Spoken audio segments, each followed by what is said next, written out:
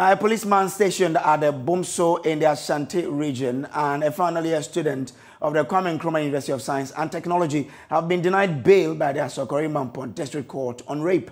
Lance Corporal Frank Edu Pokun, who has since been interdicted, and Joel Ose Owusu are standing trial for allegedly raping a first-year female student uh, on July 19th. The two who were remanded into police custody on 28th July 2022 were denied bail again when they made their second appearance before the court.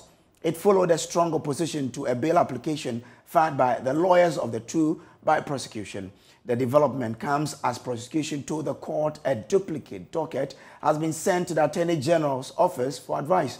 My colleague Ohim Interior of our security desk joins us over the phone with more. So, Ohime, what would the court, uh, why would the court deny the two accused persons bail despite strong argument advanced by defense counsel?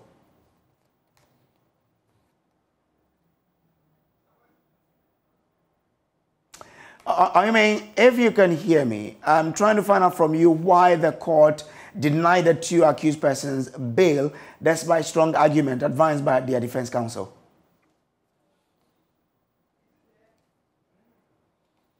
Hello? Ohime, can you hear me? Is it TV or radio? Okay, so um, uh, we are trying to get uh, Ohime on the phone line so we can have details of this particular matter. We understand that the Asokore Mampong court has denied bail to uh, the policeman and the student of KNUST who uh, have both allegedly raped a first-year student of uh, KNUST. Uh, the policeman has been interdicted by the police service um, after uh, this incident uh, came public. But Ohiming, who is with our security desk, is with me live on the phone lines now. Ohiming, why did the court deny the two accused persons bail despite uh, what we understand to be strong argument advanced by their defense counsel? Yes, uh, the arguments from the defense counsel Uh, was to convince uh, the court uh, to grant the two accused uh, persons, uh, that is Lance Corporal Frank Dupoku, who is stationed at the Bomso police station, and also the final year administrative student of KNUST, Joel Osewusu. Mm. but the court, after listening to the you know opposition explanations from the prosecution, uh, led by the Ashanti Regional Head of Legal and Prosecutions, ACP Kofi Blagudi, uh, then denied uh, the accused person's bill. Uh, first, it was the counsel uh, for the student, uh, Koku Yabua Akuya, who told the court that once the student is a final year student and there are arrangements as we speak for final year students and students of KNUST to write the exams, then the continued detention of the accused persons uh, will be against uh, his right and also denied him the opportunity uh, to write the exam. Uh, meanwhile, the, the lawyer for the police also uh, advanced uh, this argument that because the Attorney General is now has a duplicate case docket of the case indicating that police have finished its investigations, there is no need Uh, to detain uh, the, uh, the accused persons, uh, that is Lance Corporal Frank Edupoku. Mm. But ACP Blagoji, the prosecutor, uh, told the court, having consulted the KNUST lawyer who held brief for a senior colleague, that the KNUST is also, or the procedure is on, in the process to suspend and also dismiss the student for the act is involved, then no need for the court uh, to you know listen to the argument that he's still a student and he is due to write his final year exam. Uh, so the court, uh, that's the magistrate presided by His Worship uh, Boabin Kwanza, denied the two accused persons bail. Mm. Uh, so, so as we speak, the student is a final year, um, uh, was in final year at the KNUST, obviously would be affected in a way. What's his status now? And, and that's of the policeman. What we do know is that KNUST has started uh, or activated the procedures uh, to suspend uh, Master uh, Joel, Joel Osewusu, uh, who is a final year student. But uh, for the policeman, uh, the prosecutor told the court that Lance Corporal Frank Edupoku has been interdicted by the Inspector General of Police mm. uh, because, according to him, uh, the police administration hold in high esteem its image and wouldn't want uh, to shield any of these uh, officers uh, found to have been engaged in illegalities. Mm. Okay, thank you very much there. So that's uh, um, my colleague Ohim Intoya, who is a member of our security desk. Now, year-on-year -year inflation crossed the 30% mark to hit 31.7% in the month of July 2022. Data from the Ghana Statistical Service has reviewed. However, the rate of inflation slowed down in the month under review as inflation went up by 1.9% over that of June 2022, which was 29.8%. According to the Ghana Statistical Service, the increase in inflation was once again caused by transport, which came with a 44.6%. Housing, water, electricity, gas, and other fuels stood at 43.0%. Furnishings, household equipment, and routine household maintenance uh, stood at 42.0%. Recreation, sport, and culture came with 33.8%.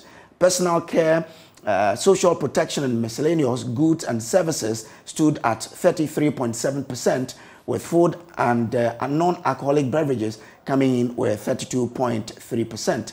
Indeed, six divisions recorded inflation rate higher than the national average. Food inflation went up to 32.3% in July 2022, up from 30.7% in June 2022.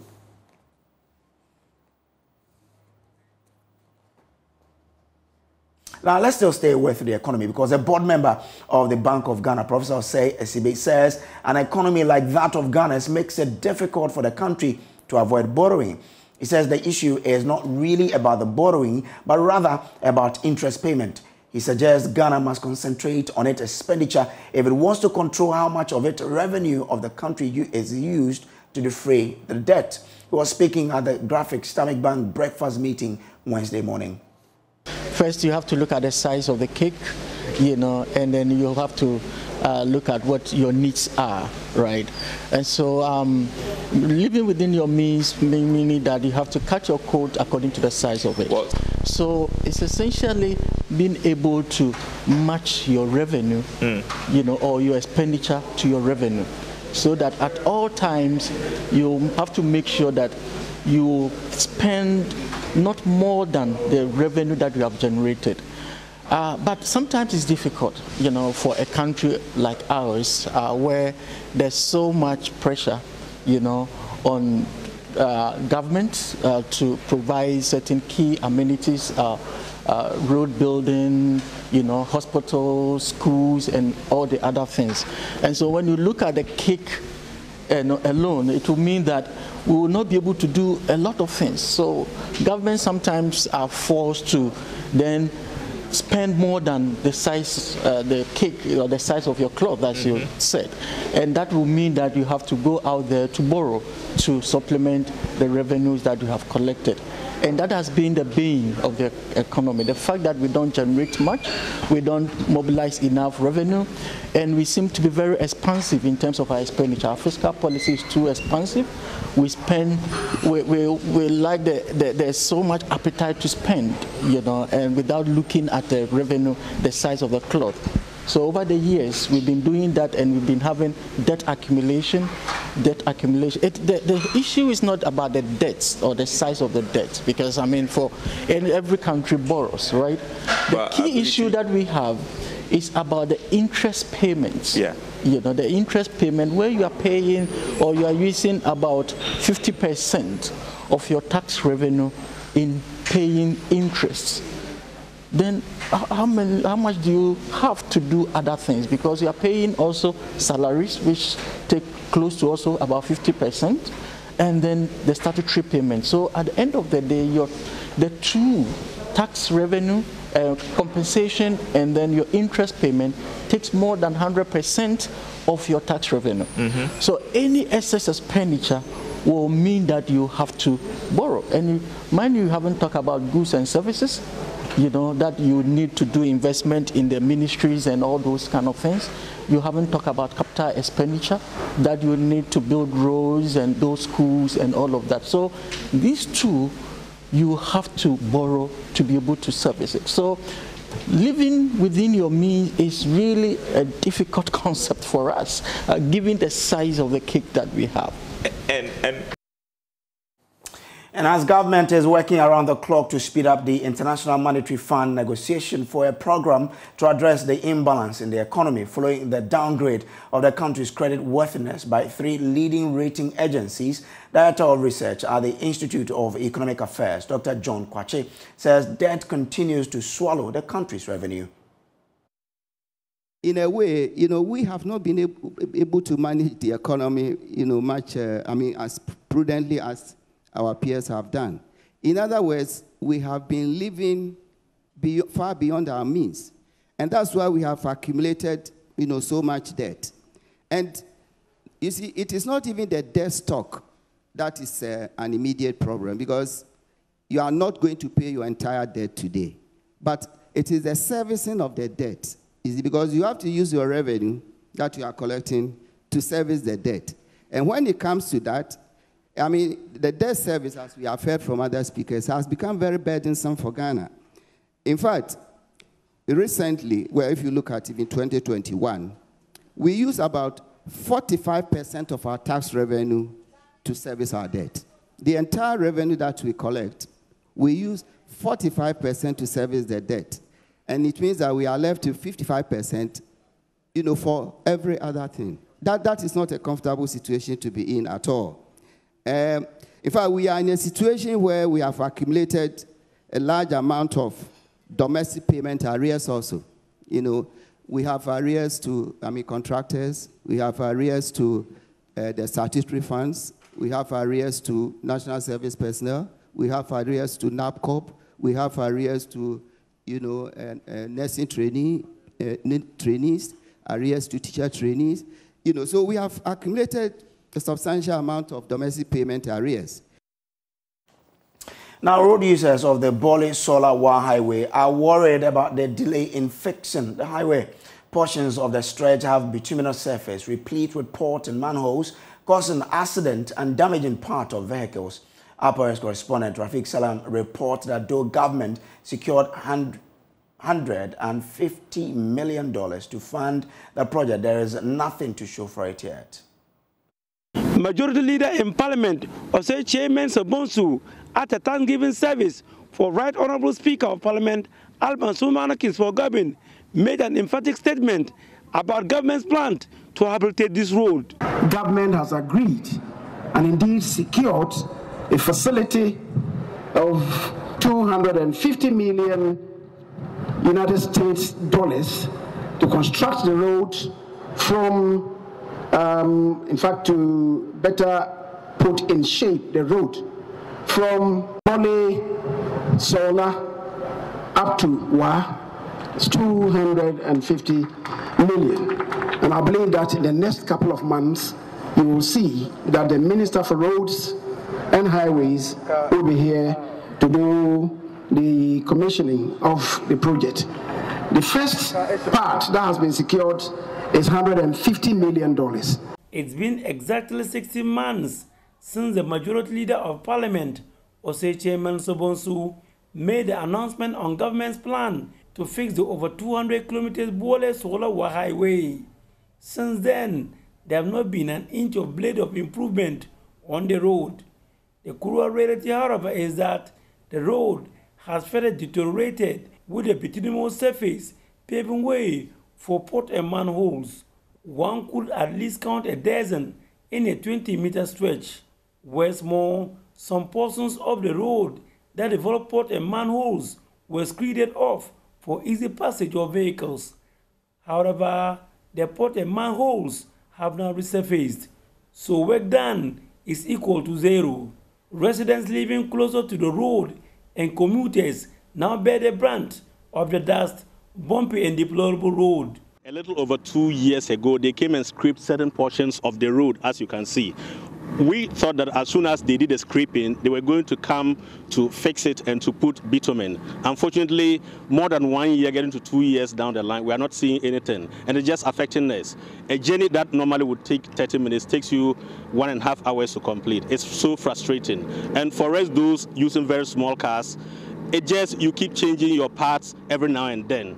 You hit your car, sometimes you have to go to the sprayers. It's so terrible.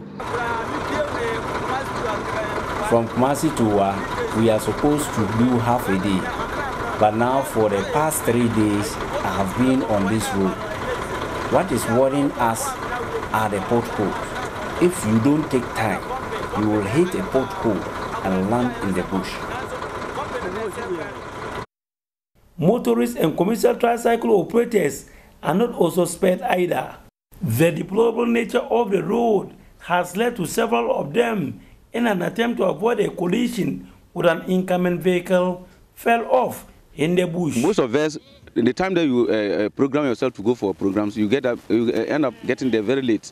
Also, vehicles have been knocking down people because of the way the road is. Everybody is trying to dodge and, and go to the good side, and all the, uh, the drivers and the uh, pedestrians are always competing for the, where the, the, good side is, and at the, at the end, they all get involved in accidents. The Bole Solawa Highway is part of the National Highway 12 or N12, which starts at the country's border with Coast in the western region and ends at Hamile in the Upper West region. Though the Bole Solawa Highway is located in the Savannah region, it is mostly used by travelers from the Upper West region and other West African countries, especially Burkina Faso. Passengers who ply the highway oftentimes are subjected to attacks from marauding armed robbers, leading to many dead and others maimed for life. They appeal to the government to fix the road to ease their frustrations and sufferings. And sometimes armed robbers also take advantage of the situation, especially when you get to a place that you cannot speed. They will, because they know that you cannot speed, they will just get you there and rob you of your personal belongings.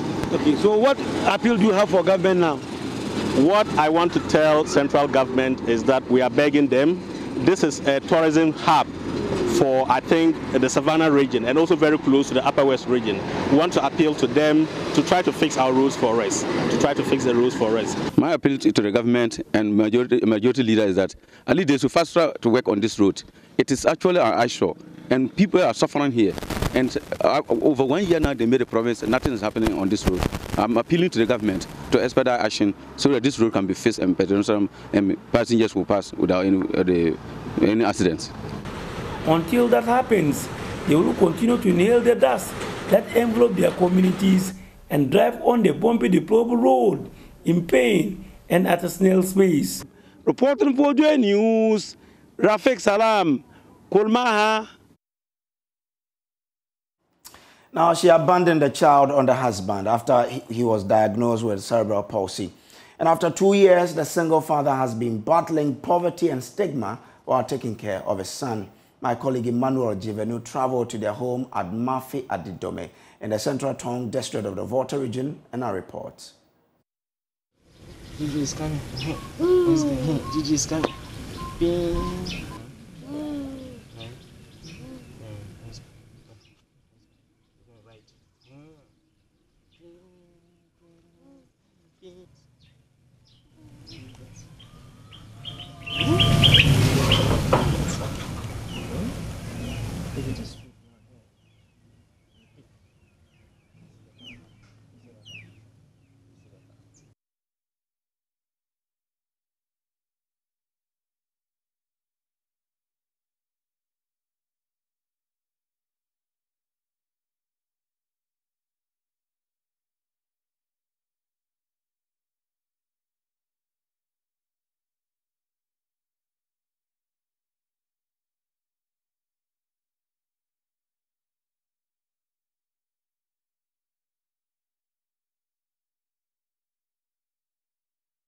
I do everything a woman does to take care of the baby.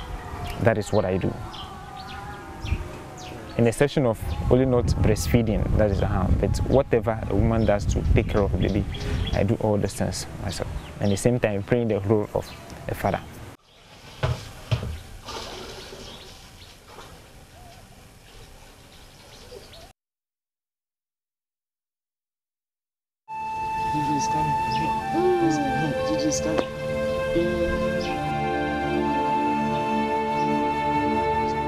Years ago, the cry of a newborn baby brought Martin and his wife immense joy. They could not contain the joy of being first time parents. But that excitement ebbed away a year on. Their bundle of joy could not function properly. He can't stand on his own, sit or catch up, not talking. The neck falls and goes back like that, uh, unless you have to support him. He was diagnosed of cerebral palsy. Yeah, so as he's growing after two years, he's not responding. Though he understand when you talk, they feel like performing the action, but realize all the muscles, everything, they are weak. Uh -huh. He can't stand on his own, sit down, do anything. Even the talking wasn't coming. Nothing. So I took him back to the hospital for a proper checkup. Uh, so that is where he was diagnosed that no, it's a cerebral palsy. Despite having little knowledge of cerebral palsy, Martin was troubled by the news and worried about how to care for his son. He recounts how everything took a downward turn and eventually his wife abandoned him and the child. His wife's family claimed he had jinxed his own son. The family of the mother were giving the pressure to her that what a baby she has given birth to and the baby can't respond to anything like that. So you should find a way of leaving the child. Uh, so they claimed myself and my family bewitched the boy. Uh, that is why the boy is like that. So they've given her pressure, a lot of pressure. So she have to leave the child and go. That is two years. So after that, I have to take over because myself, I don't I say I don't have a family. My mom is not alive, who is who can take care of him for me. Uh -huh. So I took up the responsibility myself as a mother, the same time as a father. So I do everything a woman does to take care of the baby. That is what I do. In the section of only not breastfeeding, that is a harm. but whatever a woman does to take care of the baby, I do all those things myself. And at the same time, playing the role of a father.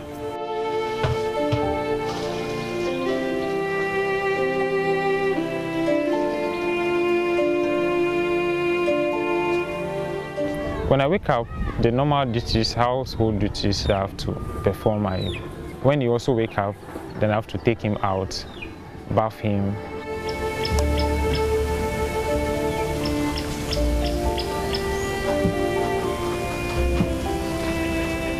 Bathing, I massage a bit, uh then I feed him. So after feeding, I have to come out with him or be inside the room, watch TV small. I play with him a bit before I can come back to the kitchen or maybe watch his clothes. And then I take a rest a bit.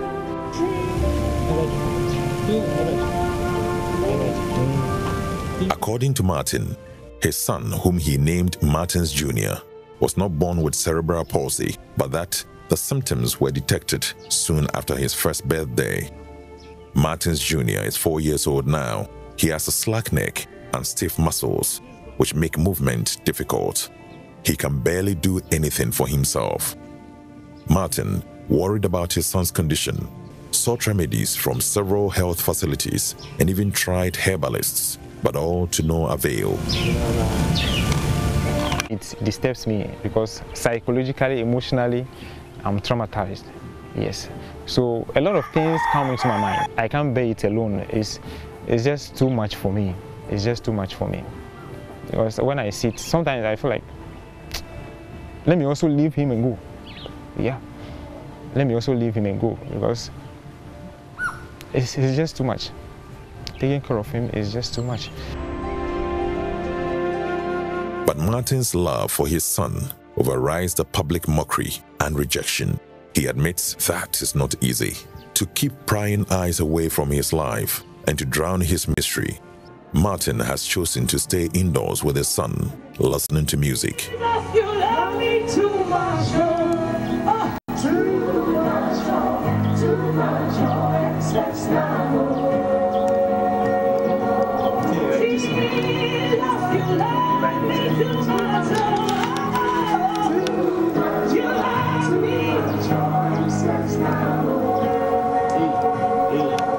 Is a trained teacher from the University of Education Winneba. He had to quit all jobs to be close to the sun. His only source of income is this motorbike his friend gave him.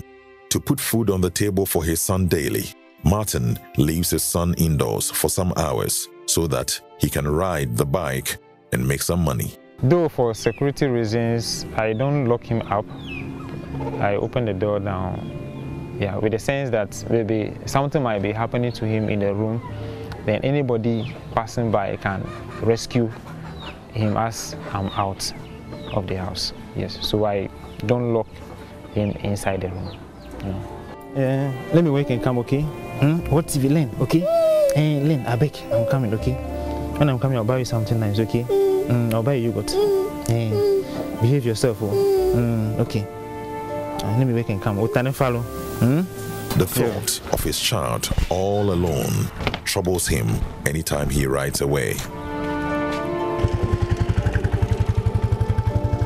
Due to this, Martin refuses long distance rides. If I go out with a motorbike, it's not anything I get. If I go, if I get the high, the maximum money I get is maybe 30 cedis for it. And from that 30 cedis, I'm going to buy his food, buy petrol from it again so that I can maintain the machine and go back to the next time I. So it's, it's something that I, yes, I feel that I'm being wicked to myself. Yes, in doing all this. Yes, because nobody seems to care for us. The cause of cerebral palsy is unknown, but genetic abnormalities congenital brain, maternal infections, and fetal injuries are associated with the condition. Although there are no official statistics on the number of children with the disorder, Cerebral Palsy Africa estimates that one child in every 300 births has the condition in Ghana. Martin has a wish, a wish that will ease the burden of raising his son alone. My wish is to get a computer shop that I can be doing printing, photocopy, typing and the rest. Uh -huh. Then also train students who have finished school and want to learn IT. Uh -huh. Those who have finished from GSS, SS, yes, and anybody in the society or the community who want to learn or know about IT computing because I believe these days everything now is IT, yes, computing. So that is my my wish now. Then whatever I get, the money I get from there, I wish to support Hillary. But for now, Martin continues to shower his son with love, hoping life smiles at them one day. Emmanuel Dzivenu's report for Joy Prime. Now, traders in Mamponteng in the Kwabre East constituency are risking their lives to trade under high-tension electricity grid lines after being evacuated from an old market facility to make way for a new construction. The Jubilee Market project housing more than 100 shops are stored for over a decade now. Love FM's Emmanuel Bright quickly reports the uncompleted structure is now a haven for the homeless and a fertile ground for maize plantation.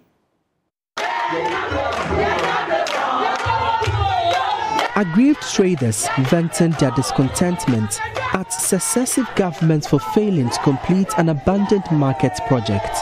They had come to the traditional authorities to heed their cry.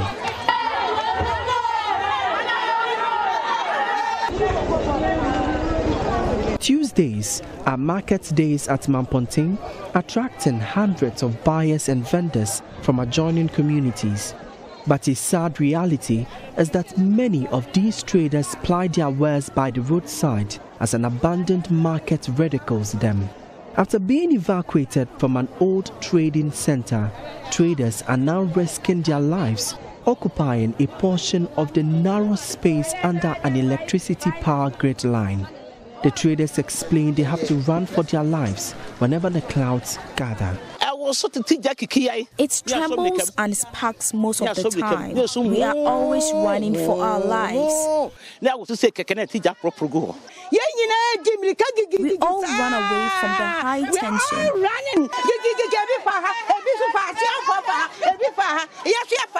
The situation is affecting daily sales at the market. It's been 10 years since they left us here. All our monies are squandered.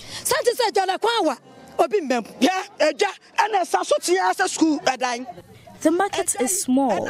Because we have no better place, people are now buying from other markets.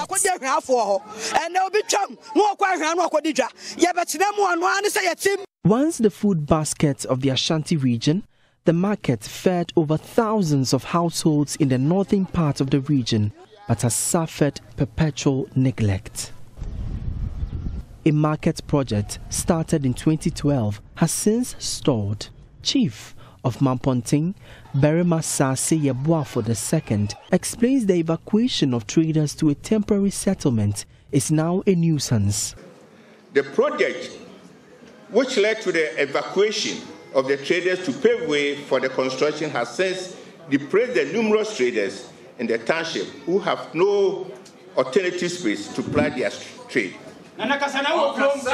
This has resulted in traders using any available space across the township, creating nuisance with wooden structures and places not yet nor suitable for such purposes. This edifice, which hopefully would be called the Jubilee Market, is now as quiet as a graveyard, with only weeds, including a maize plantation, marketing itself here. For Joy News, my name is Emmanuel Bright Kwiku. You're also watching Joy News today. We'll take a break. When we return, we have business for you. Stay with us.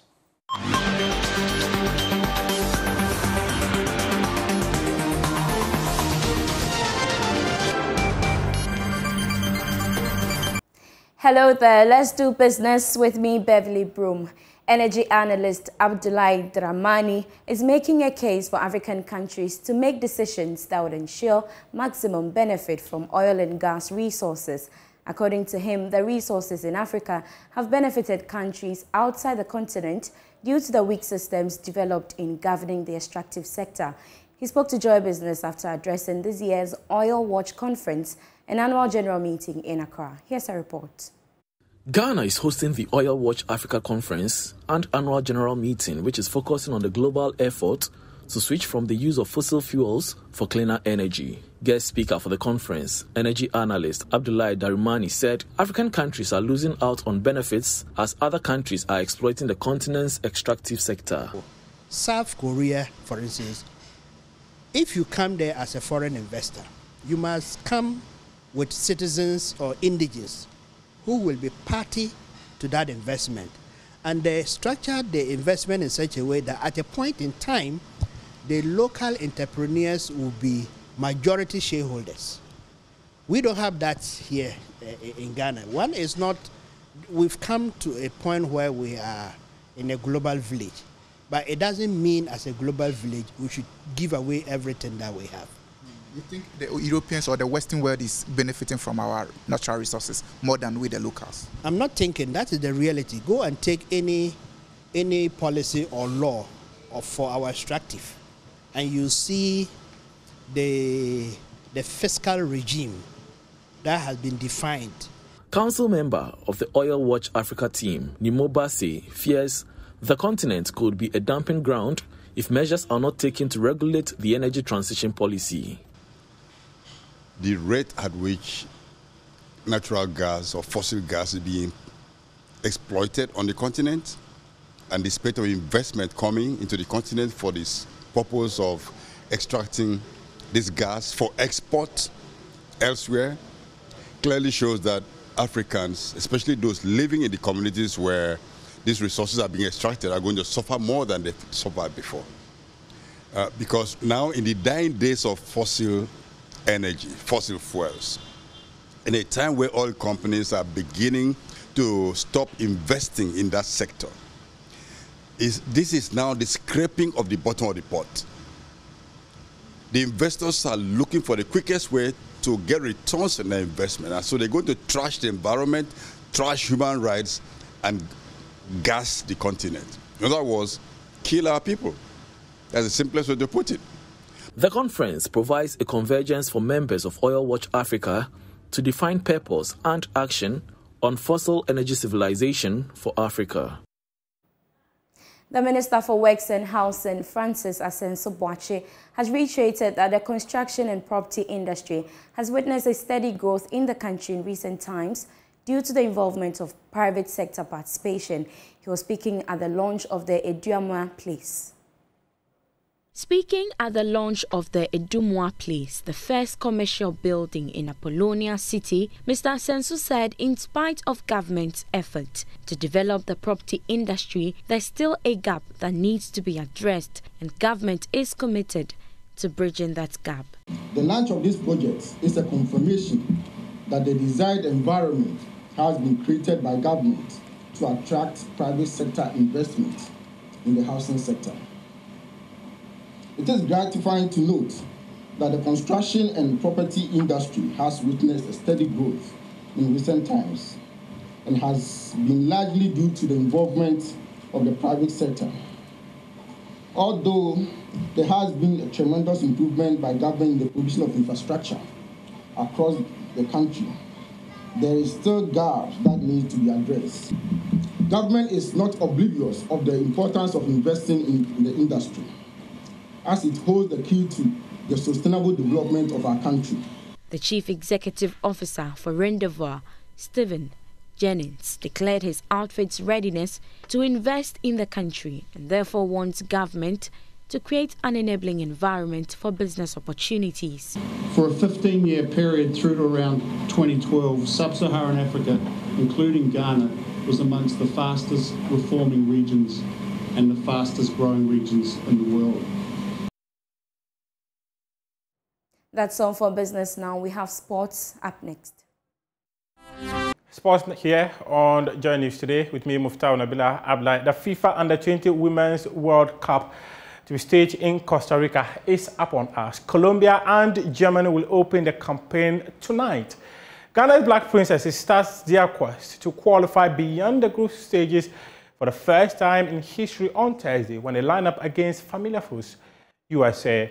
President of the Ghana Football Association, Kurt Okraku, believes they have got the quality to reach the next stage of the tournament. But I believe we have a group of talented players who have the capacity to go beyond the group stage. And you've already shown it. I've always said that when we stay as a unit, when we play as a unit, when we stay together and for each other, we are always strong. And I believe that in this tournament, beginning from the friendly on Thursday or Friday, Friday, you will stay as a unit, you will play for one another, you will encourage each other when it's tough because it will be tough. But it is that when it is tough, that is the right moment that we need each other. You need to communicate a lot more amongst yourselves and stay with each other. For those of you who have the experience of playing on international level, you have to take the front lead in encouraging your colleagues at all times. Senko year, you have to encourage each other. It is possible because I believe we will make history. Black Bombers have called on the government and corporate Ghana to help them prepare and compete in subsequent competitions after winning three medals in the just ended Commonwealth Games. Some of the boxers spoke to my colleague Nathaniel Arthur when they arrived in the country earlier today one most important thing is like we need more competitions. These kind of competitions like get us more like well prepared so that we can perform even better than what what we have done now.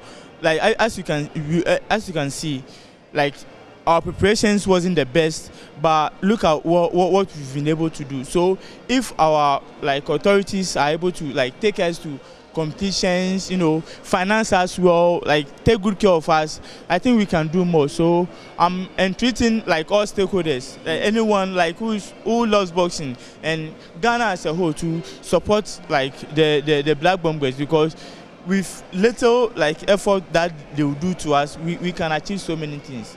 They are very experienced boxers there, so I tried my best to win. My dream is to go there and win something, but actually, I didn't. I didn't get. I didn't get where I want to. So next time I will try hard to go to where I want to. But my my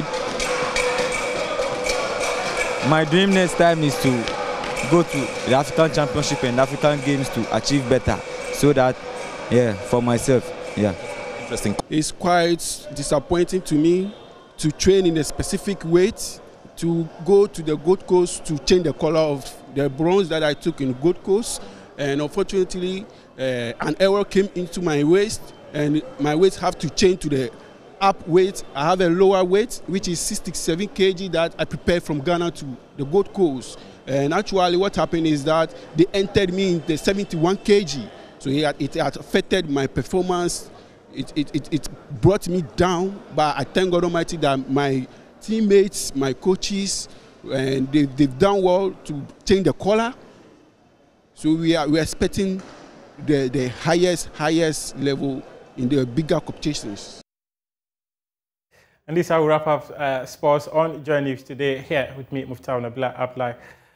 Up next is World News.